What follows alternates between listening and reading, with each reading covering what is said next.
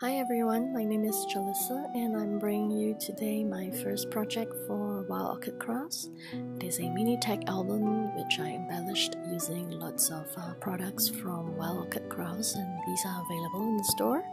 I'll be showing you the product codes as we go along. So right now I'm um, inking the edges of the papers that I'm going to adhere over my tag chipboards and these are just some of the um, chipboard embellishments from my own stash. I'm just doing some heat embossing right now with white embossing powder for a little bit of texture.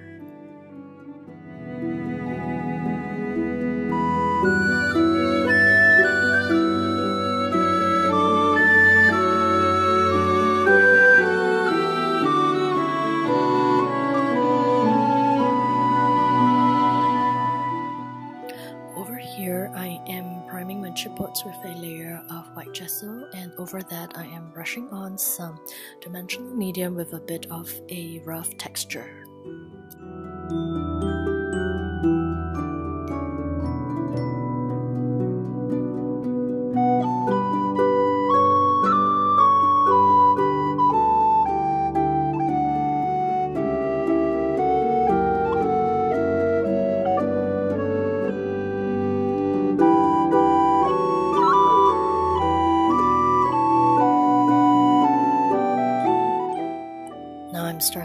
To embellish the first page from my mini tag album and the flowers I'm going to add are from the Mix Color Sweetheart Blossoms pack.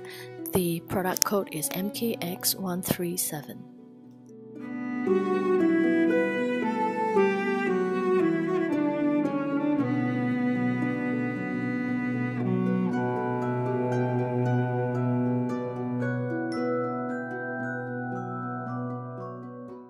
And after adding on the flowers, what I'm doing now is dabbing on some gesso for a bit of a whitewash look so that the flowers don't look too plain.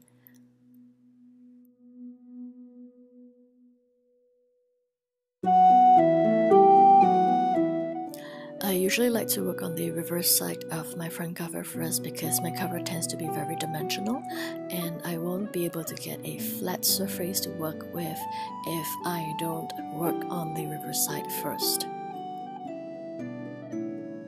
Now for the front cover, I used the filigree antique gold flower embellishment. The product code is MKX388 and I used it under some of my chipboards. In my floral cluster, I used a blue rose from the two-tone mixed color Wild Roses 30mm QVR040 and also a white chrysanthemum from the mixed color chrysanthemums pack QVR080. Now to fill up the rest of the cluster, I have different sized roses from the mixed sized open rose pack and that is MKX599. I also have other smaller roses as well as some leaves from the mixed white flowers and rhinestone starter pack MKX323. Also tucked in between is a small blue flower and that is from the mixed color Sweetheart Blossom pack which you saw earlier on my reverse page.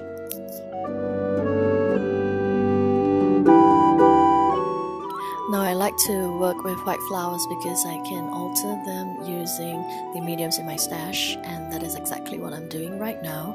I'm dabbing on bits of color from my paint pot and adding a bit of water to let the color run. This is um, a good technique to use for the mulberry papers that Wild Orchid Craft flowers are made from because the paper is water absorbent and it helps the color from your paint to uh, spread out and that gives a very nice ombre effect.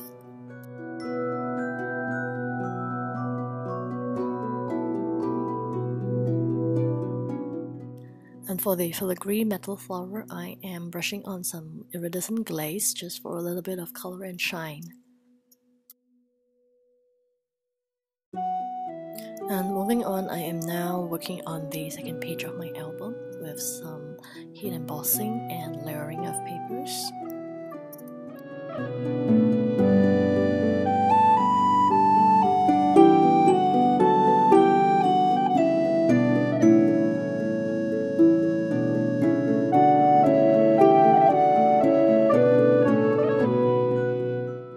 this page, I am using two white rose buds from the Mixed White Flowers and Rhinestone Starter Pack. I'm going to bind them together with some twine and topping it up with a twine bow for a rustic feel.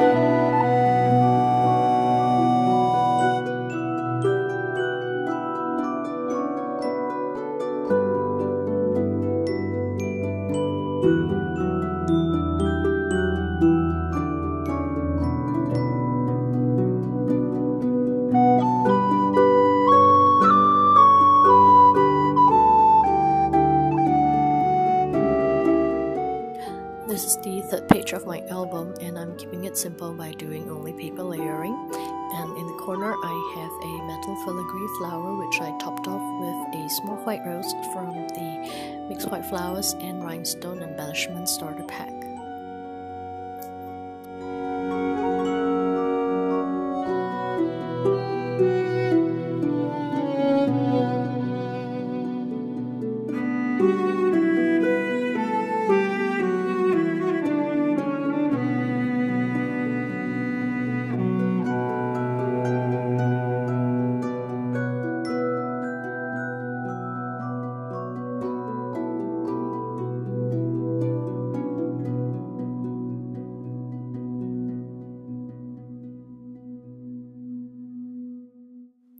Working on the fourth page of my album right now and what I'm doing is showing you how to make use of the wire stem that comes along with the flowers. What you do is take a toothpick and twirl the stem around the toothpick. You get a very nice twirl in the stem and it looks like a rose with its vine extending out.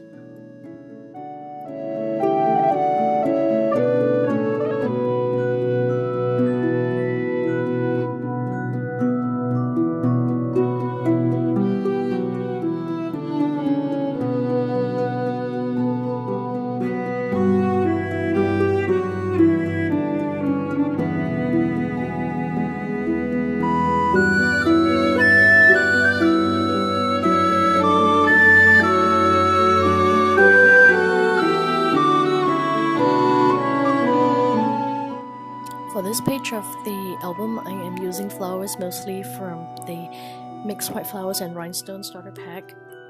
And I'm adding on the chrysanthemums and the roses, making a little cluster with it.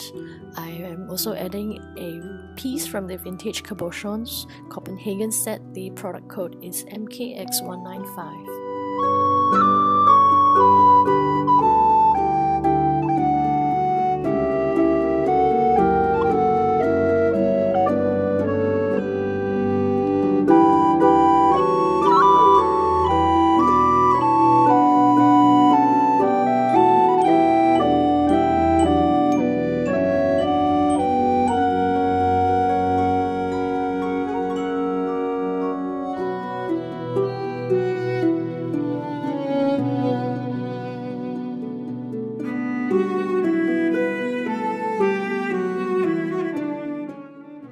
This is a piece from the Mixed Clocks and Time Metal Embellishment Set GST158. I primed the metal piece with some gesso and now I'm adding in some color from my paint pots.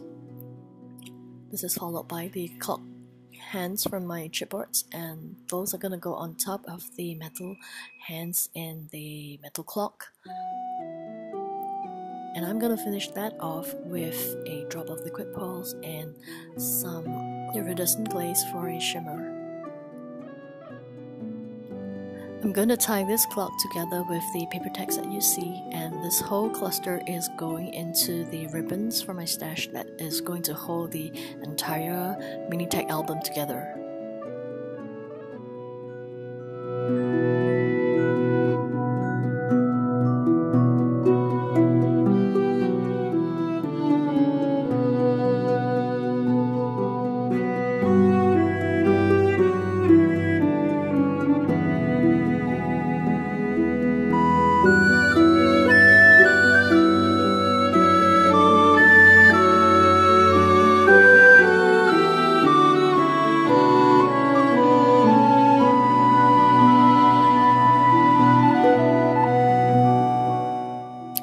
Have for you today.